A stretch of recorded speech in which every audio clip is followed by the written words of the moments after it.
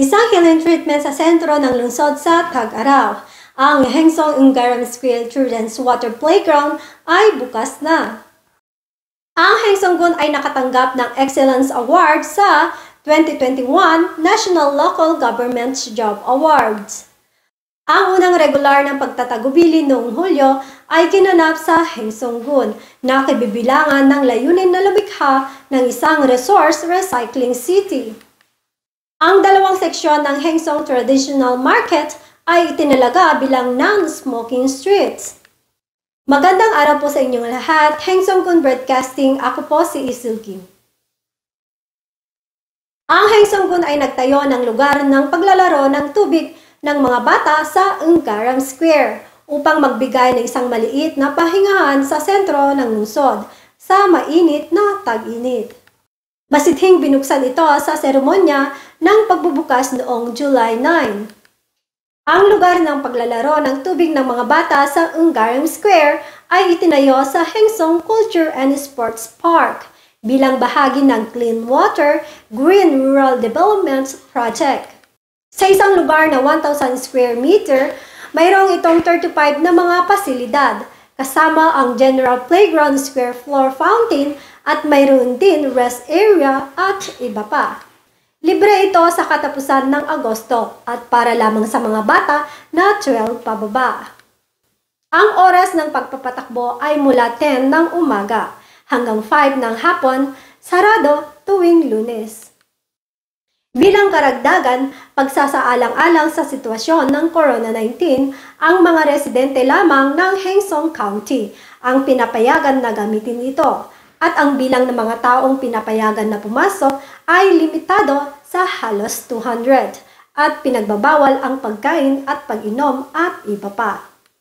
Samantala, isang seremonyang ng pagbubukas ay kinanap alas 3 ng hapon sa parehong araw upang pagdiwang ang pagbubukas.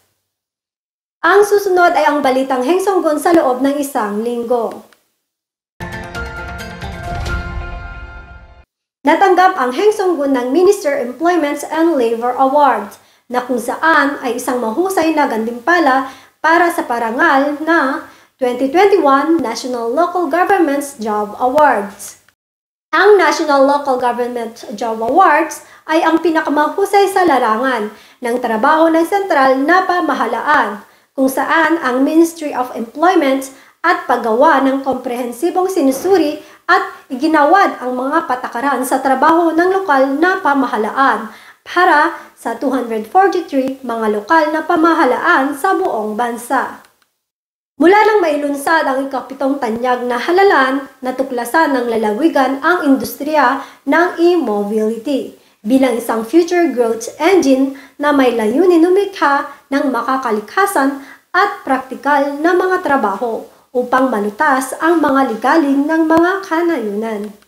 Bilang isang resulta, walong maliit na electric cars manufacturers at mga bahagi ng kumpanya ang lumipat at nagtataguyod ng mga negosyong e-mobility project sa iba't ibang larangan.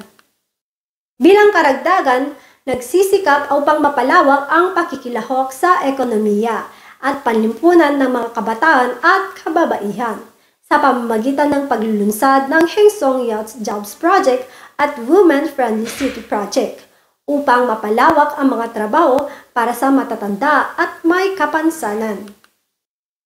Ang Hengsonggun ay nagsagwa ng regular na briefing noong 8 at inihayag ang planong lumikha ng isang lungsod ng mapagkukunan ng recycling mula sa self-disposes at pag-convert ng basura na nabuo sa rehiyon upang makamit ang carbon neutrality sa year 2050. Inanunsyo ng Heng Song-gun ang isang action plan na may layunin makamit ang isang carbon neutral central city sa year 2050. Ang lalawigan ay magtatayo ng isang pasilidad sa pag-recycle na nagkukolekta ng agricultural plastic waste na nabuo sa rehiyon at gumawa ng enerhiya at nagtatayo din ng isang sentro ng pag-recycle para sa mga kagamitan sa basura.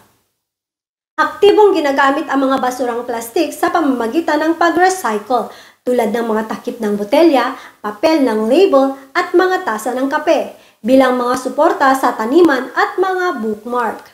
Isusulong ang mga pakikilahok ng mga residente sa pamamagitan ng pagpapatakbo ng environmental card, grupo ng volunteers leading para sa proteksyon sa kapaligiran. Plano rin na sumulong para sa pakikilahok ng mga residente at pagbabago ng kamalayan.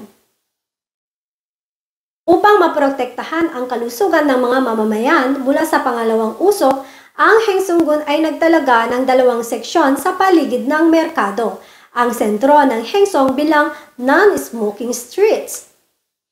Ang Hengsonggun ay nagtalaga ng dalawang seksyon sa paligid ng merkado bilang non-smoking streets. Ito ang seksyon sa pagitan ng ODAPSAN Todok Direct Sales Office mula sa Husong Pharmacies at Hengsong Registry Office mula sa opisyal na ahensya ng KT. Nag-install ang lalawigan ng mga palatandaan ng gabay, palatandaan ng kalsada at ilaw ng logo sa mga lansangan upang lumikha ng smoke-free environment. Para sa susunod na isang taon, ito ay operated bilang isang smoking practice guidance period at mula Hulyo 1 ng susunod na taon, isang multa na 50,000 won ang ipapataw para sa paninigarilyo dito. Samantala, itinalaga ng lalawigan ng Hengsong Elementary School, Songbuk Elementary School at Hengsong Middle at High School bilang smoke-free streets at patuloy na nagbibigay ng patnubay sa paligid sa paninigarilyo para sa mga bata at kabataan na nasa edad na nag-aaral upang hadlangan ang paninigarilyo. Habang dumarami ang bilang ng kumpirmadong kaso ng COVID-19, ang distansya ng panlipunan sa lugar ng metropolitan ay naitaas sa level 4. Sa huli, masasabi natin ang pagsisikap lamang nating lahat ang masasabing susi sa paglutas ng krisis na ito.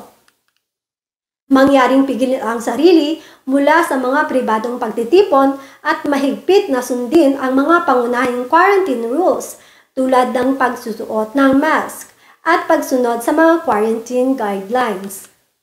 Hanggang dito na lang po nagtatapos ang balita na hinanda para sa araw na ito. Maraming salamat po sa inyong panonood.